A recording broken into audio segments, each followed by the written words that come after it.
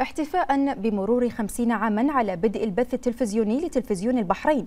أعدت وزارة الإعلام فيلما توثيقيا خاصا يحكي مسيرة الإنجاز والتطور الإعلامي التي شهدتها هذه المسيرة. هذا واستعرض الفيلم التوثيقي مسيرة الإعلام الحافلة بالإنجازات الكبيرة والتطور المتسارع في مجالات الإنتاج التلفزيوني البرامجي والإخباري والتقني التي استندت إلى سواعد وطنية ماهرة ومبدعة. العاملين في هذه المؤسسة على العمل المخلص والحماس للعمل آه، بالوفاء إلى بلدهم إلى دينهم إلى تراثهم. وهذا ظهر في كل زاوية من زوايا هذا المجمع الإعلامي. ما في شك أن الكمال آه، هو هدفنا. آه، من الصعب أن نوصل له الآن في الفترة الوجيزة لكن بإذن الله بالجهد راح نوصل إلى المستوى المرضي. وأنا لا أشك في هذا و...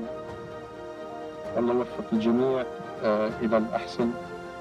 ومشكورين مرة. أخرى خمسون عاما من السعي إلى الكمال كانت شاهدة على رحلة تميز وعطاء يحلق فيها اسم الوطن إبداعا في السماء حيث شهدت البلاد لحظة تاريخية عند البث الأول لتلفزيون البحرين.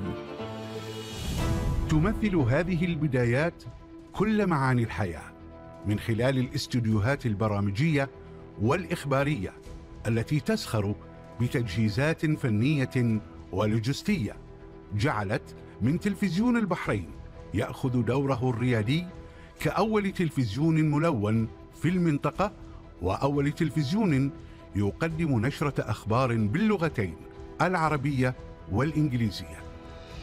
ولم تكن هذه الإنجازات الريادية إلا انطلاقة لها ما بعدها حيث شهد التلفزيون طفرة إنتاجية غزيرة كان فيها التألق أمام الكاميرات وخلف الكواليس هو عنوان المرحلة.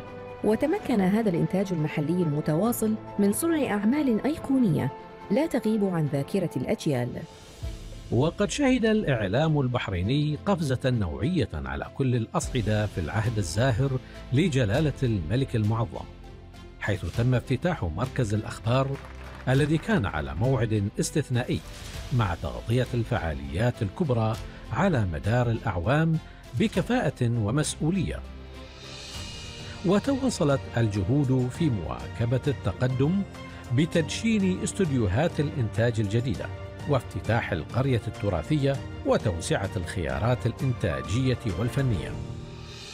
شكل هذا السعي حافزا لمواصلة المسير حيث كان شعار حب التحدي وعشق الإنجاز دافعا رئيسا في شحذ الهمم وكتابة فصل مهم في صفحات التاريخ يبدأ بصناعة مستقبل أفضل لتلفزيون البحرين الذي يدشن استوديوهات جديدة وهذه خمسون عاما جديدة. نبدأها من الآن ونواصل فيها السعي إلى الكمال.